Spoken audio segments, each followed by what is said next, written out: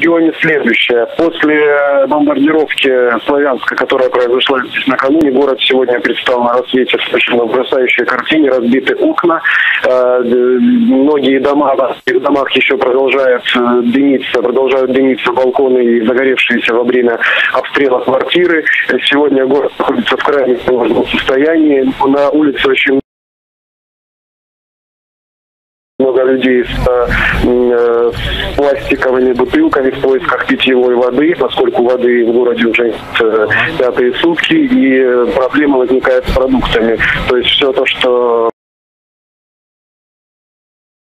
было э, заготовлено на складах э, Славянска, сейчас уже э, подходит к нулю, и, очевидно, в городе в ближайшее время будет очень проблематично что-либо приобрести из пищи и воды. В городе по-прежнему нет